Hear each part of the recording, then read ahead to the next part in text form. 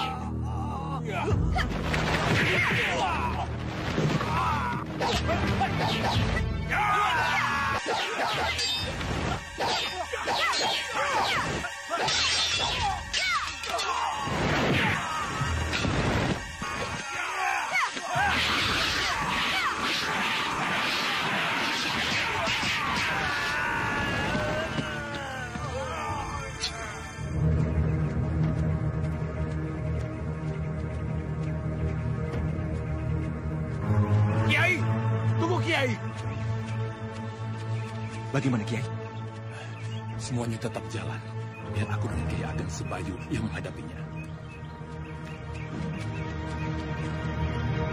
Sebenarnya ada apa Kiai? Lihat saja nanti. Oh, Kiai Ageng Sebayu?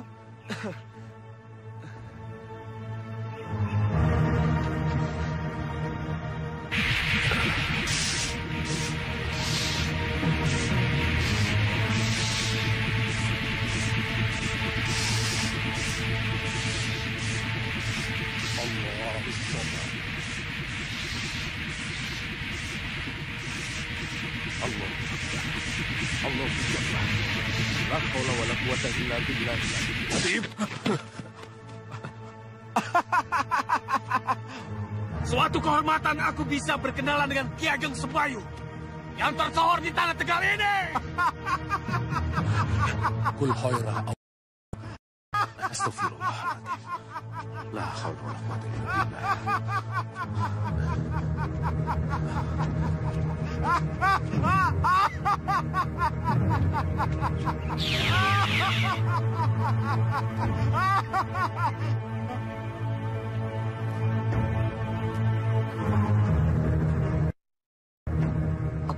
menanyakan tentang Dian Selasi. Baru sebentar saja, mereka sudah tidak ada. Benar-benar sakti. Tapi aku akan mencobanya lagi.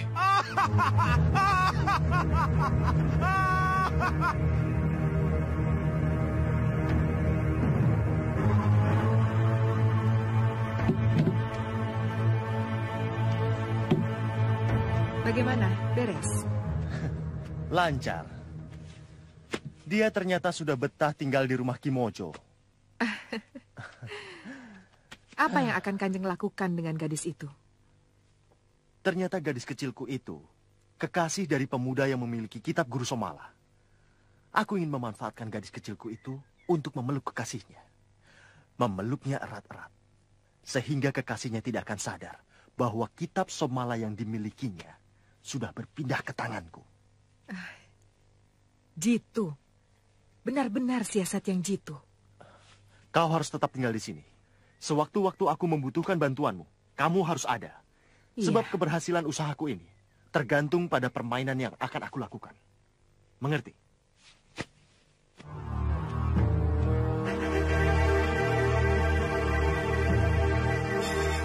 Benar, Kiai. Pemuda yang memiliki akhlak yang baik tidak mungkin berani mencoba kesaktian orang tua. Apalagi seorang kiai terhormat. Dia benar-benar kurang ajar. Kita harus mengetahui siapa itu dan mencari orang tuanya.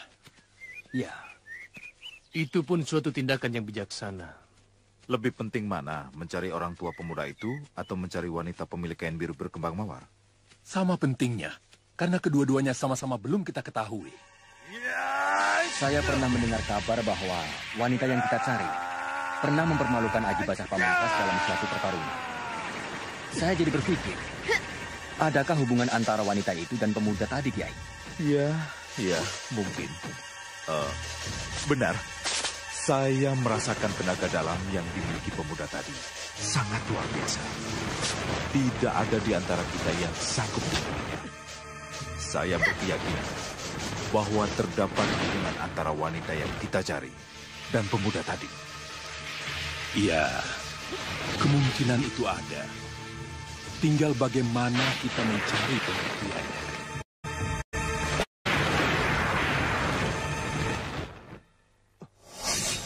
Kalau pertama kali kita mendapatkan keterangan siapa pemuda tadi, maka kita abaikan dulu mencari wanita pemilik kain biru berkembang mawar itu. Betul. Kalau yang pertama kali kita peroleh keterangan, pemilik kain biru berkembang mawar. Maka kita abaikan dulu mencari warta siapa pemuda itu. Bukankah begitu, Kiai? Iya, yang pertama kita dapatkan keterangannya. Itulah yang kita dulukan mencarinya. Betul, Kiai. Betul. Mari. Mari. Pokoknya kalau ketemu Datuk Karang Tapa dan sampai bisa ketemu dengan Raden Samba, wah, aku mau selamatan. Selamatan apa, Ki? Loh, selamatan kok apa? Selamatannya selamatan. Selamatan itu macam-macam, Ki. Tapi dasarnya kita memohon kepada Tuhan agar diberi selamat. Gitu. Ya memang begitu.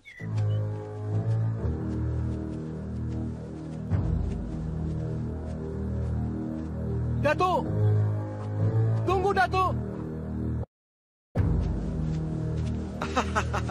Kiai! Assalamualaikum. Datuk, apa kabar Datuk? Alhamdulillah. Oh ya, kenalkan Kiai Ageng Sebayu. Kita seperti pernah bertemu, Kiai. Dua kali. Alhamdulillah. Sekarang kita bisa berkumpul di sini. Apakah ada orang yang minta bantuan pada Datuk untuk melenyapkan sihir? Betul. Seorang pemuda terkena sihir siluman ular. Apa dia bernama Raden Samba? Ah, tepat. Ah. Dia harus aku tolong untuk melenyapkan penderitaannya. Kiai tahu. Eh, tidak. Hanya saja kami pernah bertemu dengan seorang wanita yang mencari Datu. Katanya untuk menolong saudaranya yang terkena sihir ular. Ah, seorang ibu kan? Ah, iya. Sudah ketemu. Dia yang membawa aku ke sebuah gua, ke tempat saudaranya bersembunyi. Dan ternyata Raden Samba sudah tidak ada di tempat. Lari, karena disatroni orang yang mau memanfaatkan penyakitnya.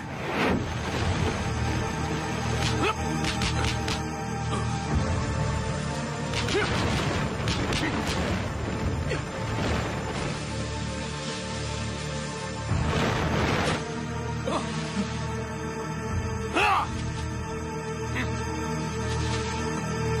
kisanak, sabar.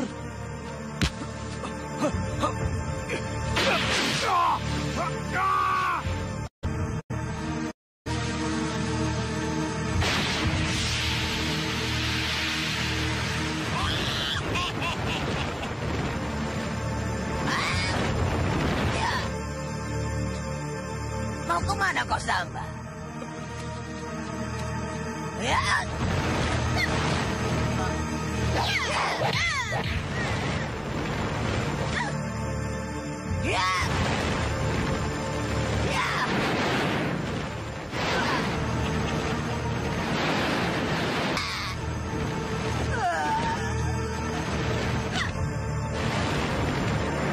Mak lampir, Datu.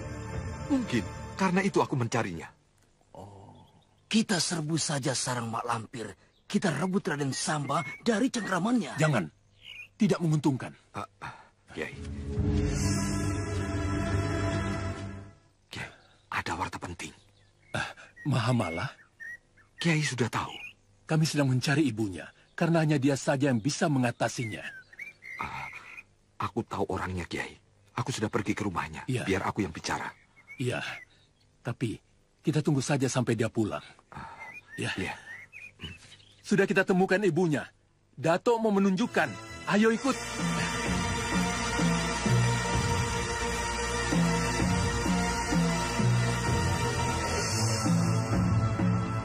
Kisanak, apa Kisanak pernah melihat seorang gadis namanya Dian Selasi?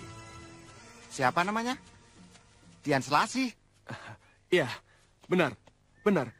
Apakah Andika berdua pernah melihat seorang ibu-ibu membawa seorang gadis pergi dengan paksa? Ke mana arah perginya? Belum pernah melihat kalau yang dibawa anak gadis. Kalau yang dibawa paksa, kambing atau kerbau sih sering lewat di jalan ini. Uh, kambing kerbau gundulmu. Hah? Berhenti! Ibu? Mana Dian Selasi? Tidak tahu, Ibu. Sekarang saja Soma sedang mencarinya. Bukankah dia bersama Ibu di rumah? Eh, seharusnya Ibu yang tanya kepada kamu, Soma. Ke mana Dian Selasi pergi? Kenapa perginya tidak pakai kuda? Hah? Aduh. Terus terang kepada Ibu, kenapa kamu mempelajari ilmu Somala yang tidak pernah Ibu berikan kepadamu? Tidak, Ibu. Sumpah. Jangan bohong, Soma. Kamu pasti mempelajari ilmu itu tanpa sepengetahuan Ibu ya? Biar sambar geledek, Bu, kalau Soma berbohong. Lagi pula, buat apa Soma mempelajari ilmu larangan?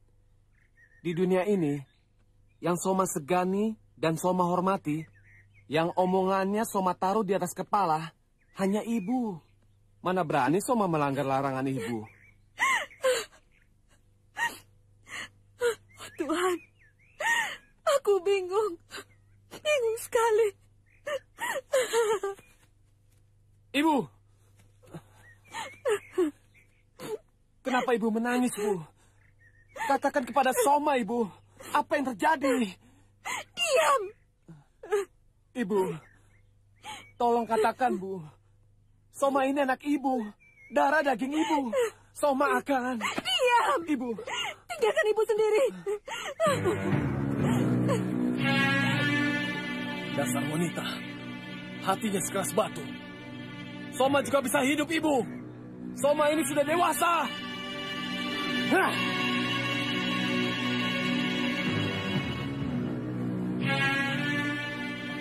Dari mana, Nyai? Mencari apa sih? Ketemu? Tidak. Anak Nyai? Ada. Saya tinggal di belakang. Ada tamu, Nyai. Di mana? Di dalam. Mereka semuanya menanyakan Nyai.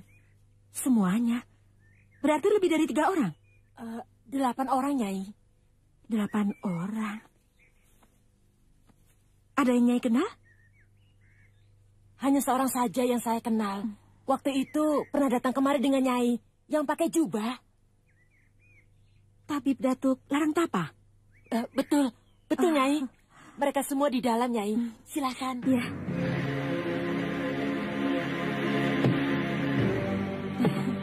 Assalamualaikum. Waalaikumsalam warahmatullahi wabarakatuh.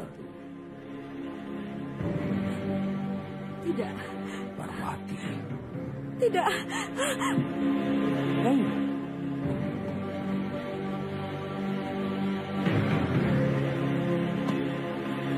Dia. Jangan dikejar.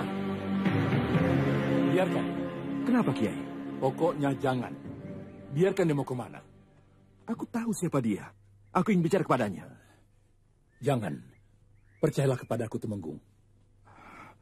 Maaf, Kiai. Sekaranglah saat yang tepat.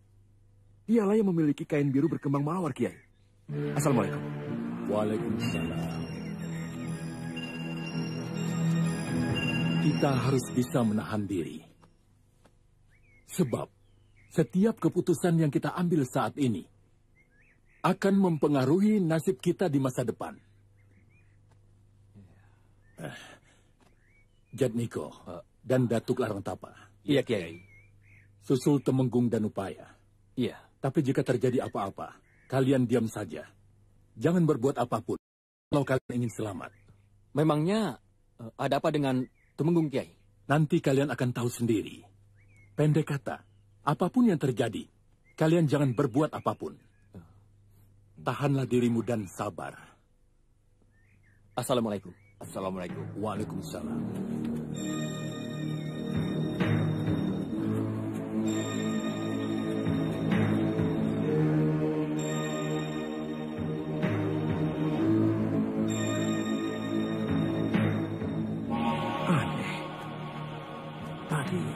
Aku lihat dari ke sini. Tapi sampai di sini kok tidak ada ya? Nyai! Tunggu, Nyai! Nyai! Aku tahu Nyai ada di sini. Keluarlah! Aku mau bicara! Nyai! Masa boleh berlalu? Tapi hubungan baik antar kita tidak akan pernah berakhir.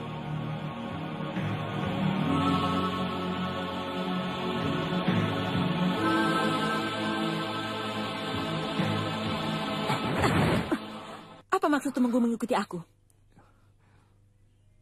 Parwati, Ya, bicaralah seperlu Temenggung. Dan jangan ikuti aku. maafkan aku, Nyai. Dulu aku terdesak oleh situasi. Tidak perlu dibahas. Buku sudah ditutup. Semuanya sudah dilupakan. Luka yang lama masih belum sembuh, Nyai. Luka siapa? Aku tidak pernah merasa terluka. Aku pasrah pada yang mengatur jagat. Andika seorang bangsawan. Seorang tumenggung yang disembah para kawula. Sedangkan aku apa? Jangan diteruskan, Nyai. Kenapa? Karena aku wong cilik yang tidak boleh menjeritkan rasa sakit hati yang pernah dideritanya selama ini. Bukan begitu, Nyai. Lukaku semakin parah setiap mendengar cerita Nyai. Nyai aku cari ke mana-mana. Aku merasa menderita. Selama ini, aku ingin mencium kaki Nyai atas kesalahanku. Jangan menghinakan diri Tumenggung. Ingat, Tumenggung adalah priayi agung. Sementara aku hanyalah... Hanya Nyai yang bisa mengobati lukaku. Cukup. Aku tidak percaya lagi omongan Tumenggung. Omongan berbisa yang hanya mencelakakan wanita lemah. Nyai, Jangan ikuti aku. Jalan hidup kita sudah berbeda haluan. tapi kan sama-sama satu arah, Nyai. Sama-sama menegakkan kebenaran. Sama-sama demi amal soleh. Tapi aku tidak ingin Andika mengikuti aku. Nyai, berilah aku kesempatan untuk... eh, Masya Allah. Sudah setinggi itukah ilmu Parwati sekarang?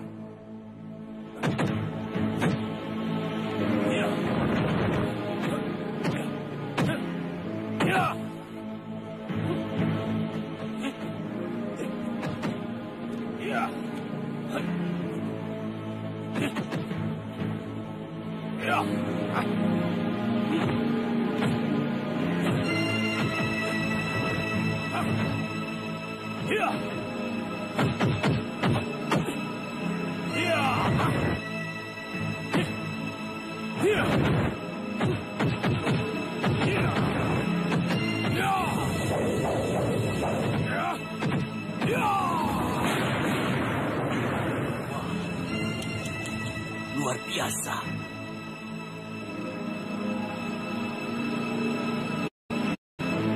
you.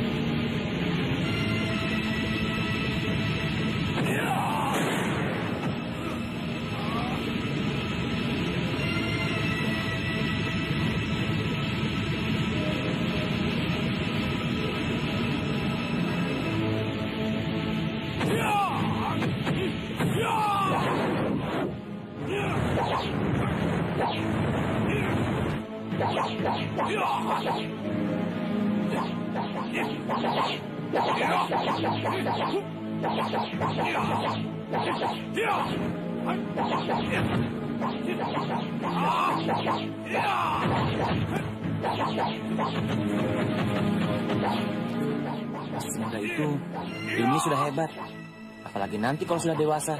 Iya, dia biangnya hebat.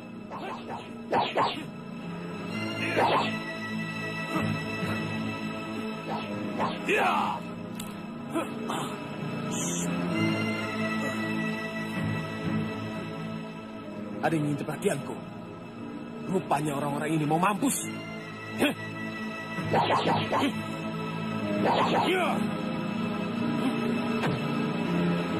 Ya.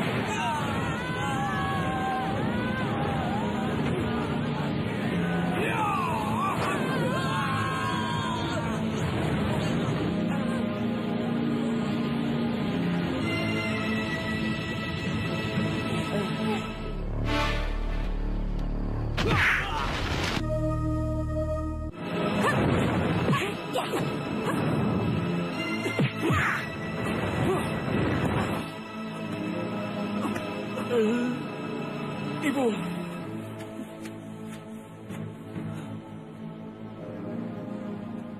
Mau menewaskan tiga makhluk Tuhan. Kamu masih mau menanyakan apa maksud ibu? Ibu, mereka mengintip latihanku, Ibu. Bukankah Ibu mengajarkan kepadaku agar latihanku tidak dilihat oleh orang lain? Orang itu mengintip latihanku. Berarti orang itu harus aku lenyapkan, Ibu. Bisa kau usir, bukannya dibunuh. Ibu, kalau mereka masih hidup, mungkin saja mereka membeberkannya kepada orang lain. Memangnya kau rugi apa? Kalau ilmu itu diketahui orang lain, hakikat ilmu untuk disebarluaskan, bukan dirahasiakan. Kalau dirahasiakan, kenapa Ibu mencari tempat-tempat rahasia untuk membeberkan ilmu kitab Somala, Ibu?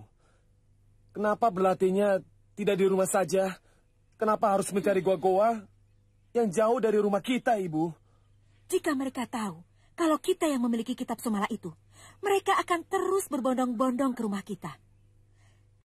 Kita tidak akan sempat untuk mempelajarinya, seperti sekarang. Tuhan akan mengutuk orang yang merahasiakan ilmunya. Manusia tanpa ilmu, buta mata hatinya. Karena itu, ilmu yang sangat bermanfaat harus digelar seluas-luasnya. Kenapa Ibu tidak menggelar ilmu yang Ibu miliki? Ibu sekarang masih menimba pada ilmu kitab Somala. Pada waktunya nanti, Ibu akan menggelar ilmu itu pada orang banyak.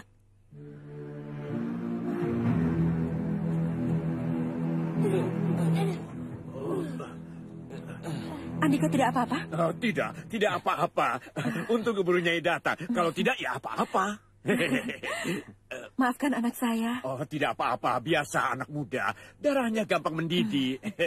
Kenalkan, nama saya Kalagonda. Ini Truna dan ini Welu.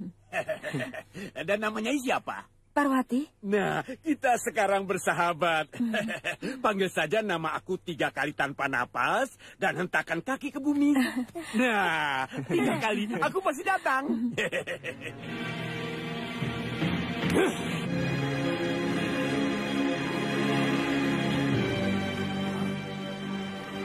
Ada apa, Gerando? Dengarkan, Ada yang kemari. Cepat kita sembunyi.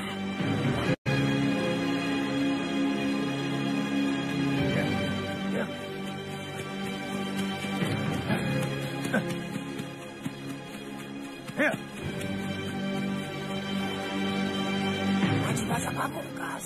Betul nih, Haji Basa Pamungkas sedang menyamar. Kenapa dia menyamar seperti itu? Ya, pasti ada apa-apanya. Kita ikuti saja nih. Ya, kita harus tahu. Tapi jangan sampai dia mengerti bahwa kita membuntuti-nya. Kalau sampai dia tahu, kita pasti akan disiksanya lagi. Ayo Grano, cepat, sebelum dia jauh.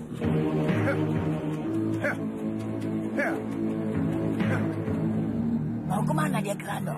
Kenapa sampai ke sini segala? Ya, aku juga heran. Makin ke sana makin sepi tidak ada penduduk sama sekali.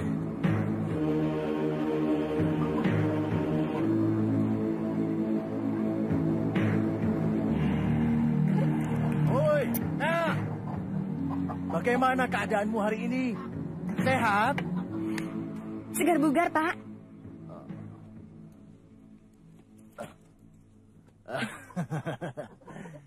Senang sekali Bapak hari ini bertemu dengan anak Bapak yang cantik.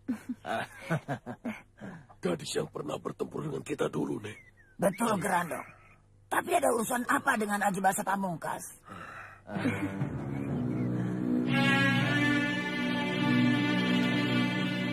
Coba pakai.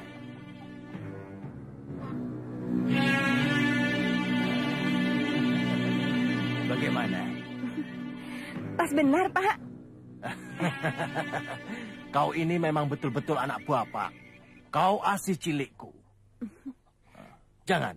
Memang bapak sengaja belikan untukmu. Tapi kalau anak Bapak pulang nanti bagaimana? Ah, itu gampang. Nanti bapak belikan lagi. Ayo masuk. Kira-kira siapa gadis itu Gerandong? Istrinya. Rasanya tidak mungkin. Masih terlalu muda.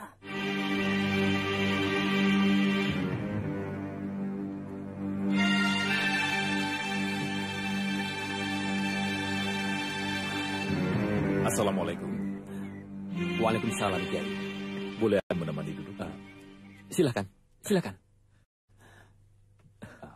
Sudah ketemu? Putri Haji Basa Pamungkas? Iya. Belum, Kiai. Repot mencari orang yang belum aku kenal. Aku jadi kebingungan. Nama dan bentuknya saja aku tidak tahu. Bagaimana aku bisa melukiskan orangnya? Iya. Silakan. Beberapa hari yang lalu, kami menemukan Nyi Parwati. Wanita yang pernah kita cari ke mana-mana itu. Kenapa waktu itu aku tidak terfikir untuk menanyakan Putri Aji Basa Pamungkas? Siapa tahu dia kenal. Betul, Kiai. Tetapi saya kira yang tahu Putri Aji Basah Pamungkas adalah Dewi Racun. Oh iya? Iya. Tapi kenapa Ananda tidak tanya? Eh, segan. Dia tidak senang jika aku tanyakan sesuatu yang berhubungan dengan Bayu Seta. Kenapa? Kenapa? Karena cinta Ananda tidak terbalas. Benar, Kiai. Nini Anjarwati lebih mencintai Bayu Seta daripada kepada Jatmiko yang bermodalkan kejujuran. Nyai, tunggu Nyai. Nyai harus mendengarkan omongan saya supaya Nyai tidak salah paham. Nyai, Nyai. Jatmiko. Ya. Astagfirullahaladzim. Hentikan, Nyai. Nyai salah paham.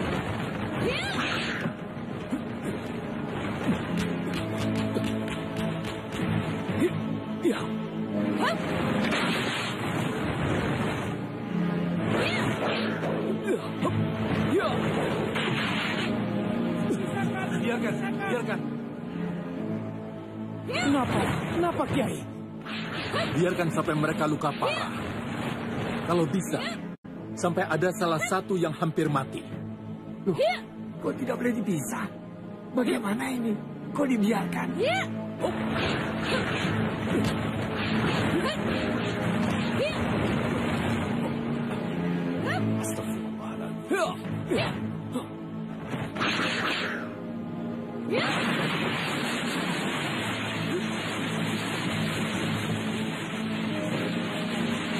Tinggalkan, cepat Kiai, tinggalkan.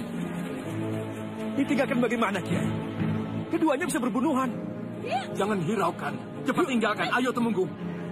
Mari Kiai. Pergi kalian semua pergi. Jangan ada di tempat ini. Ayo masuk masuk kamar kalian masing-masing. Ayo masuk, masuk.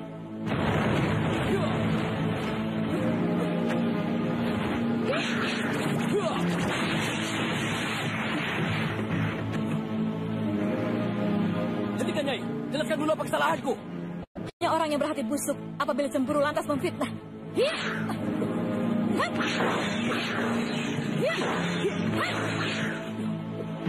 Tunggu Nyai. Mau fitnah siapa? Mau fitnah Nyai? Kakang Bayu Seta. Hah? Apa? Kau sebarkan pada orang-orang bahwa Kakang Bayu Seta mempunyai seorang istri dan anak.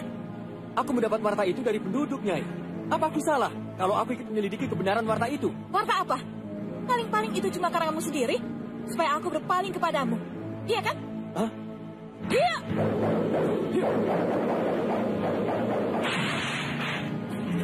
Sabar, Nyai.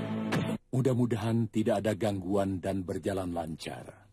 Lancar bagaimana, Kiai? Dewi Racun atau Jatmiko yang luka parah. Atau kedua-duanya hampir mati. Loh, kok begitu, Kiai? Aneh ya? Aneh sekali. Begitulah. Ada orang yang membenci Tuhan. Di segenap alam, tidak ada orang yang paling dibenci Tuhan selain Fir'aun. Karena Fir'aun mengaku sebagai Tuhan. Tapi bagaimana kehidupan Fir'aun? Ya, Tuhan membuat kehidupan Fir'aun jadi raja di raja, penuh kekuasaan, kuat, dan hidup mewah. Sebaliknya, ada orang yang paling dicintai Tuhan. Di segenap alam, tidak ada orang yang paling dicintai Tuhan selain kepada Nabi Ayub. Tapi bagaimana kehidupan Nabi Ayub? Kehidupan Nabi Ayub penuh dengan penderitaan, sebab sakit dan musibah yang datang beruntun. Kadangkala, Allah membuat sesuatu yang sulit dinalar manusia. Karena Allah punya maksud dan tujuan. Ada kalanya, orang dibuat takut dengan harapan dia akan lari kepadanya dan berbuat bakti. Tentang dibiarkannya Dewi Racun bertempur dengan Jatmiko, Kiai. Apa maksudnya? Untuk melihat langit yang biru, memang sulit jika banyak awan, iya kan Kiai? Dibutuhkan angin. angin bertiup karena bumi berputar. Bukankah begitu, Kiai? Harus ada gerak. Harokat. Subhanallah. Subhanallah. Subhanallah. Subhanallah. Tunggu, Nyai. Dia sepertinya ingin membunuhku.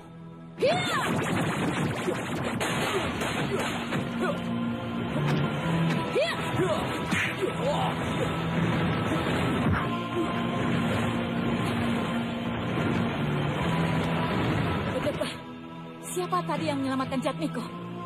Seperti pernah mengenalnya. Mana Jatmiko, Nyai? Dibawa kabur seorang laki-laki. Nyai tahu siapa lelaki itu?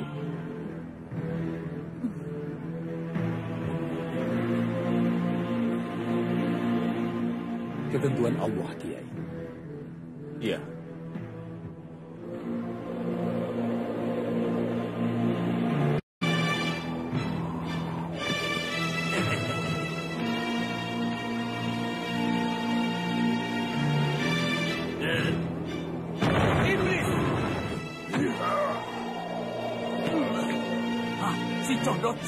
Gede Bau? Mayat iblis di kamar.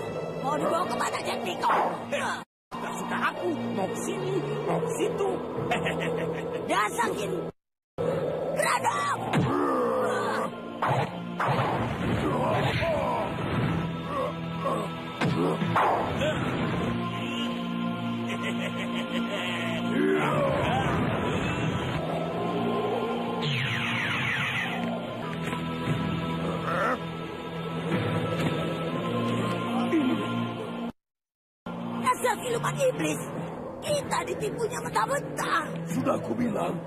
Aku malas berurusan dengan kalagondang. Banyak tipuannya. Tunggu, Nek.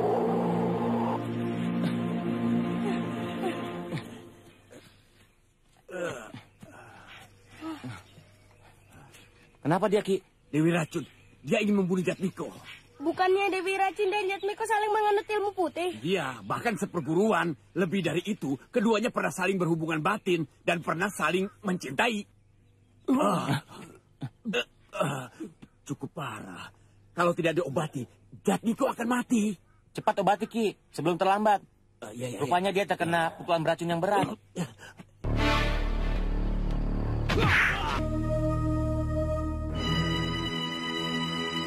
Masuk, tidak dikunci.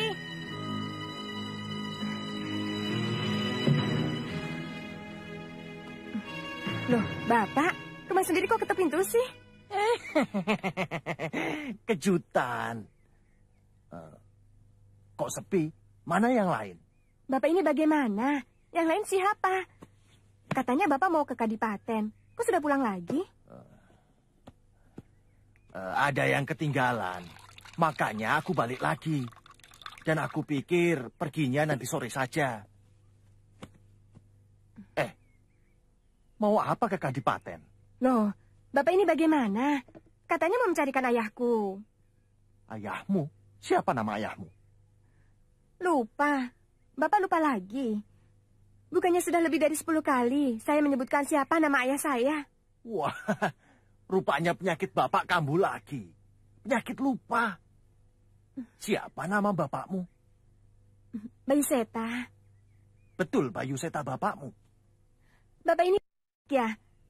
Kan Bapak sendiri yang bilang kalau Bapak kenal sama dia dan berjanji akan membawa dia kemari. Kenapa Bapak bertanya seperti itu? Aduh. Kenapa, Pak? Jangan. Tidak apa-apa. Loh, kenapa Bapak sempoyongan begitu? Mungkin akibat makan gadung tadi pagi. Eh, jangan ke mana-mana. Tunggu di sini. Bapak mau ke belakang dulu.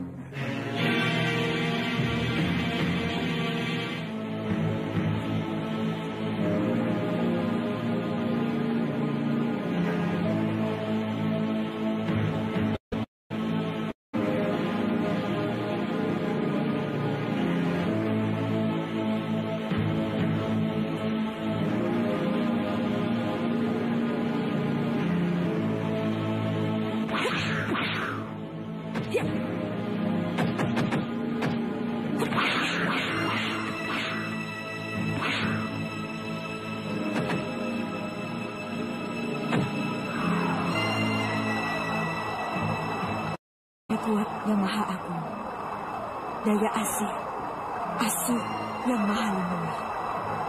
Daya gelang perak, hancur margolayu. Terkena aji asma, zat sang sumber daya.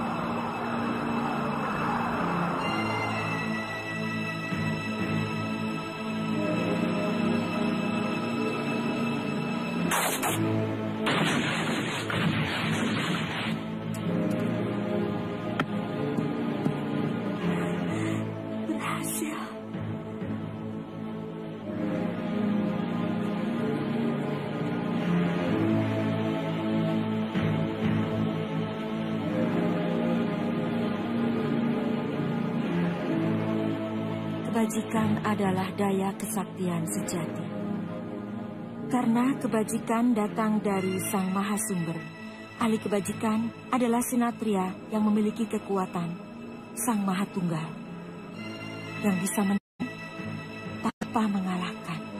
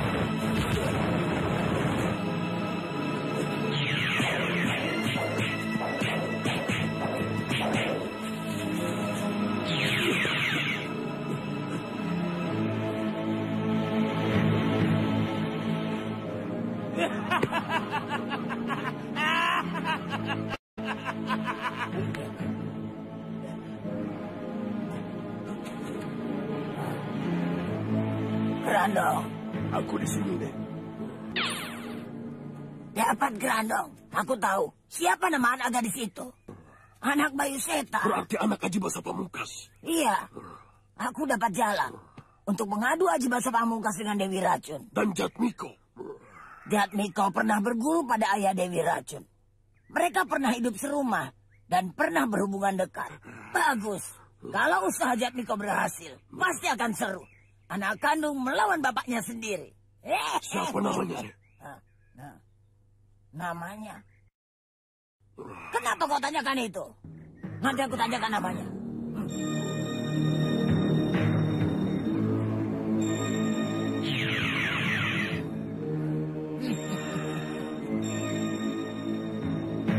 Ah, sial. Celaka 13. Kenapa, Pak? Gara-gara makan gadung beracun itu, semua ingatanku jadi tumpul. Masa namamu saja aku jadi lupa lagi? Jan Selasi. Ah, Dian Selasi.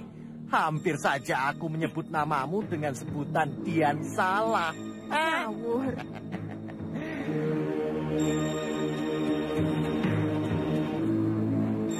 Otakku sudah tenang lagi. Nanti aku akan datang lagi ya.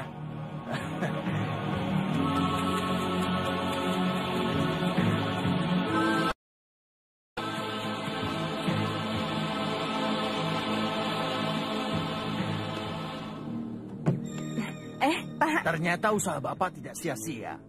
Lalap daun yang diharap. Ternyata dada ayam yang didapat. Apa maksudnya, Pak? Maksudnya Bapak ingin bertemu dengan Bapakmu di Kadipaten. Ternyata malah ketemunya di jalan. Bukannya Bapak sudah membatalkan ke Kadipaten? Iya, karena sudah bertemu dengan Bapakmu di jalan. Betul. Bapak sudah bertemu dengan ayahku. Betul sekali.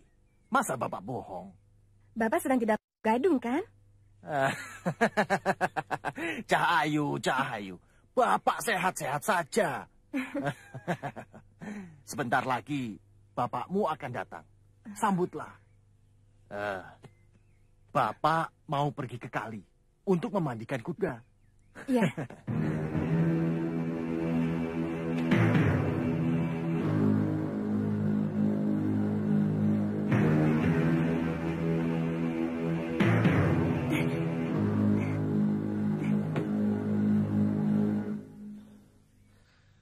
Maaf nak, apakah ini rumah Kimojo?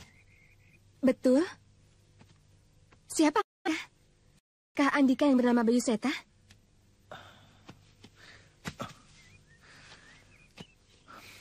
Benar, aku Bayu Seta.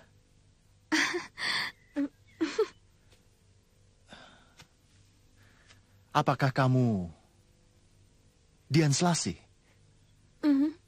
Putri dari istriku tercinta Indri Lestari? Benar, Ayah. Anakku. Aku lihat Dian Selasi begitu akrab dengan pemuda yang memiliki kitab semala itu Grandong. Arya Soma namanya, Nek. Itu juga aku sudah tahu. Yang aku sudah tahu tidak perlu dibicarakan.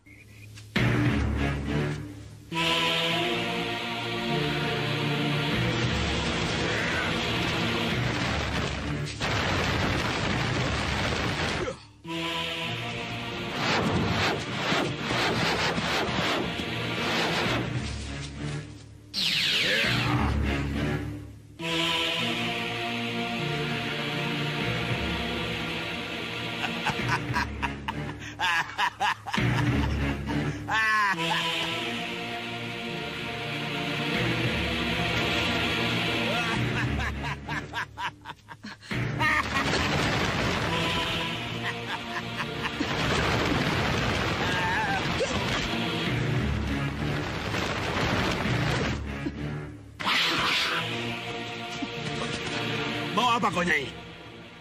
Mau mengambil kembali kitabku. Tidak bisa, Nyai. Kitab ini sudah menjadi milikku. Sejak kapan?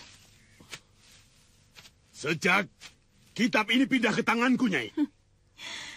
Berjanjilah Andika, tidak akan mengambil kitab itu lagi kalau sudah berpindah ke tanganku. Nyai tidak mengambil kitab ini dariku. Siapa bilang? Aku. Aku pendekar macan kumbang yang bilang, Nyai. Aku bisa merebut dari tangan Andika dengan cara mudah. Jadi, ya.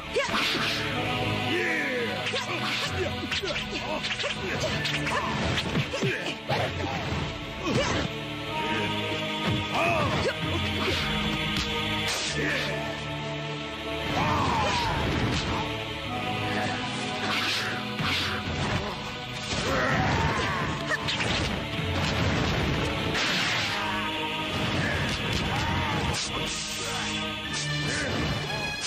Oh.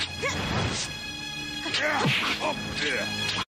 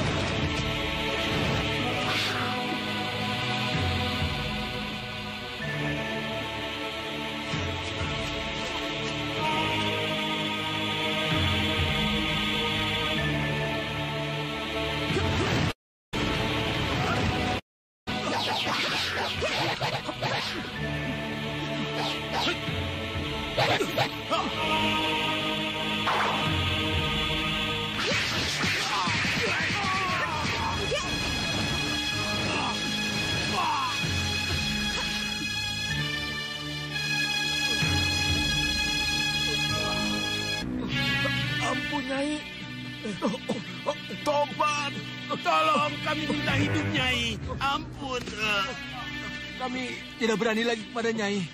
Tolong obati kami. Kenapa kalian meminta obat kepadaku? Kalian kan orang-orang sakti. Kami tahu pukulan yang Nyai jatuhkan kepada kami.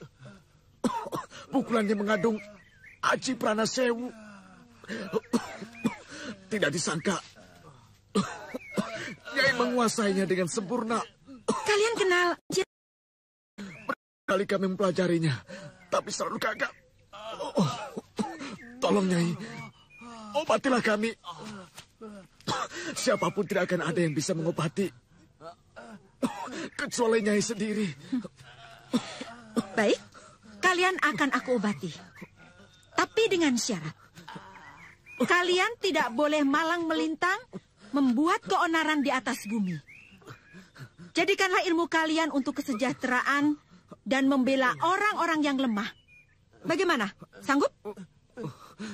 Sanggup, Nyai.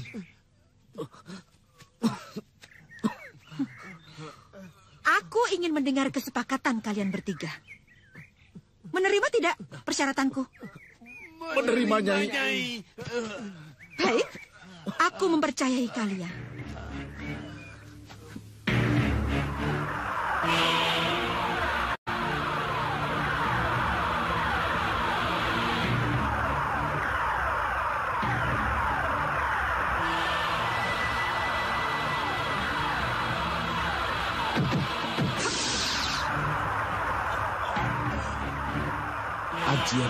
Pranasewu. Ibu sudah menguasai ajian itu. Aku pun harus bisa. Harus. Iya. Aku harus bisa seperti ibu.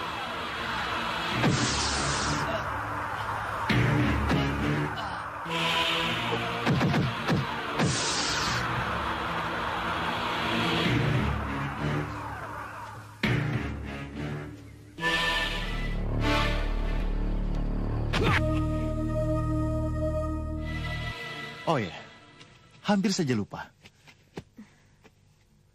Ayah mau ke mana? Mencari sesuatu yang selama ini belum ayah dapatkan. Barang itu pula yang menyebabkan ayah pergi meninggalkan ibumu dan Asih yang waktu itu masih bayi. Mencari apa? Kitab. Kitab apa? Kitab Somala.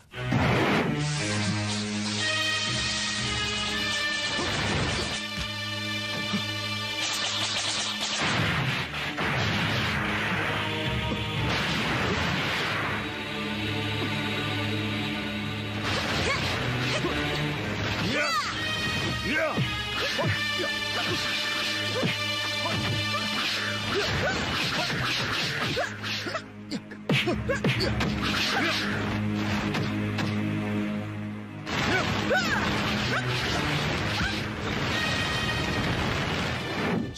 adalah nama dari guru ayah.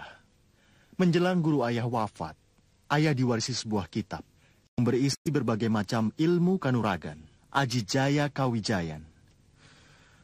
Tapi kitab itu hilang dan sampai sekarang ayah masih mencarinya. Ayah tidak akan pulang menemui ibumu sebelum ayah menemukan kitab itu kembali. Ayah sekarang mau ke mana? Ayah punya urusan dengan seseorang untuk sementara waktu. Kalau Asi ingin bertemu dengan ayah, minta tolong saja pada Kimojo. Suruh dia memanggil ayah. Kalau urusan ayah belum selesai, ayah akan menyempatkan untuk datang, ya? Ayah! Ayah tunggu!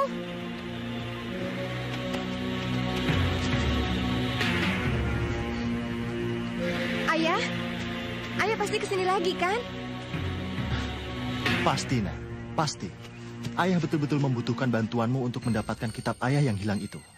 Eh, Asi janji pada ayah? Hmm, iya, aku berjanji akan membantu ayah. Syukur. Ayah bangga punya anak seperti kamu. Ayah pergi dulu untuk memenuhi janji ya.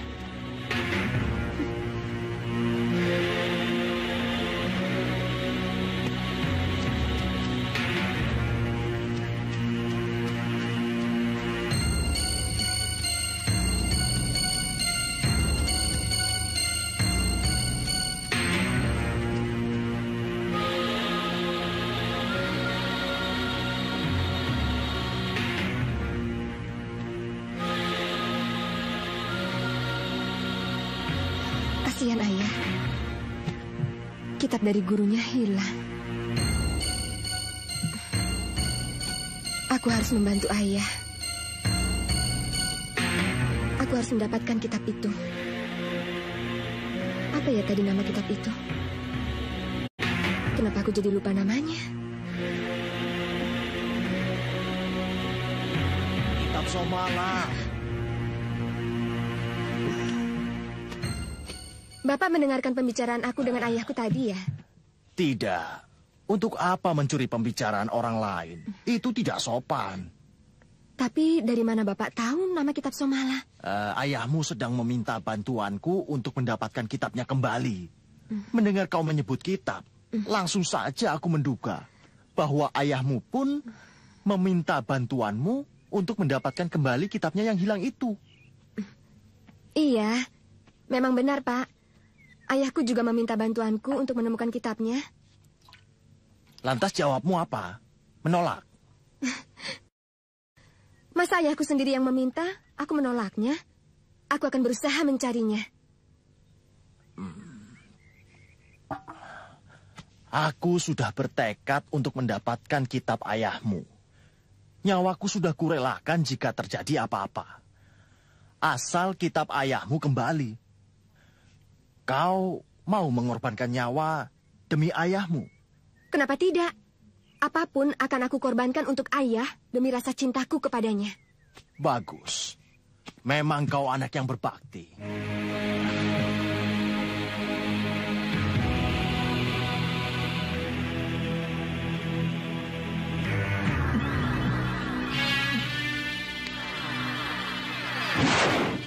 Eh, jangan dipaksakan Jatmiko. Penyakit yang sudah sembuh, nanti kambuh lagi. Iya. Ini juga hanya latihan pernapasan saja. Ngomong-ngomong, bagaimana dengan anak itu? Anak Aji Basa Pamungkas? Iya, iya. Belum. Setiap orang yang aku tanya, selalu kepala. Untuk apa mencari dia? Aku akan mengajak dia bekerja sama. Loh, mana mungkin anak musuh diajak kerjasama? Jangan-jangan kamu sendiri yang termakan oleh umpan Aji Basa Pamungkas. Sehingga melalui anak itu, kamu akan dibuat eh, tidak berdaya dan binasa. Iya. Aji Basa Pamungkas terkenal cerdik, licik, dan banyak akalnya untuk menaklukkan lawan-lawannya. Kikala akan lihat nanti. Siapa yang sanggup mengalahkan Aji Basah Pamungkas melalui anaknya itu? Aku atau dia yang menang? Malampir, carilah di mana Jatmiko berada. Dan pemuda yang memiliki kitab itu. Ajaklah dia untuk bergabung dengan kita. Pemuda yang sakti akan lebih mudah dikalahkan oleh wanita yang cantik. Berikan pada aku seorang wanita yang cantik. Kau carilah sendiri. Banyak wanita cantik di dusun-dusun. Hmm. Aku tidak akan berbuat. Aku harus bisa menemukan gadis yang disukai Arya Soma. Kau kenal siapa gadis itu? Gadis itu bernama Dian Selasi. Aku tidak tahu anak siapa dia. Tapi jika Andika bisa memberikan Dian Selasi padaku, aku jamin aku akan bisa mendapatkan kitab Somala yang Andika idam-idamkan itu. Dari mana kau tahu tentang Dian Selasi? Aku pernah melihat sendiri Arya Soma bersama seorang gadis. Setelah aku selidiki, gadis itu bernama Dian Selasi. Karena itulah, jika Andika menugaskan aku mengajak Arya Soma untuk bergabung dan mau menyerahkan kitab Somala dengan sukarela kepada Andika, Andika harus bisa memberikan Dian Selasi kepadaku. Kau bisa aku percaya? Kenapa Andika ragu? Bukankah keselamatan dan nyawaku ada di tangan Andika?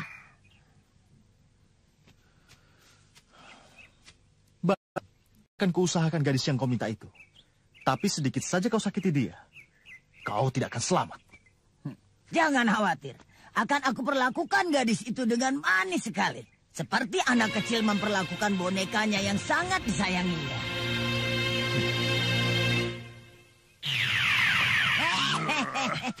Kalau berhasil, kita bebas gerandong. Bebas bagaimana, nih? Dian Selasi bisa kita jadikan alat untuk membebaskan kita dari cengkraman Aji Basa Pamungkas. Ada cara yang jitu. Yang membuat Aji Basa Pamungkas tidak berkutik pada kita. Aji Basa Pamungkas akan menggali lubang kuburnya sendiri.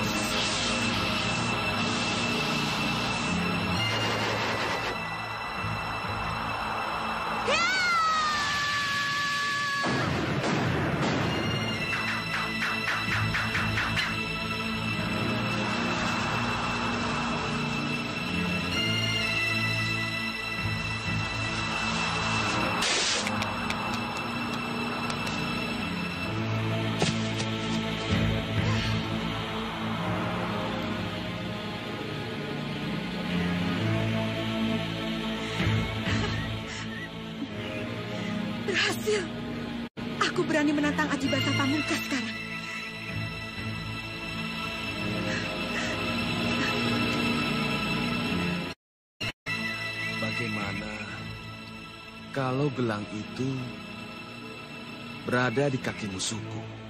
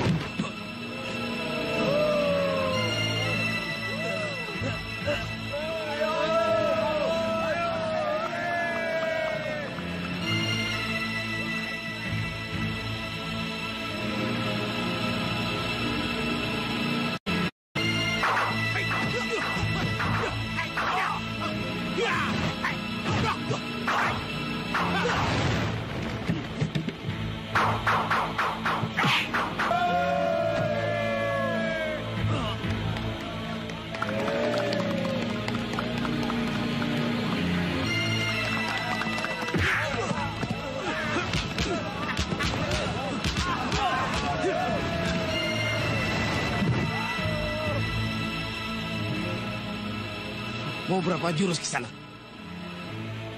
Terserah kau. Nih.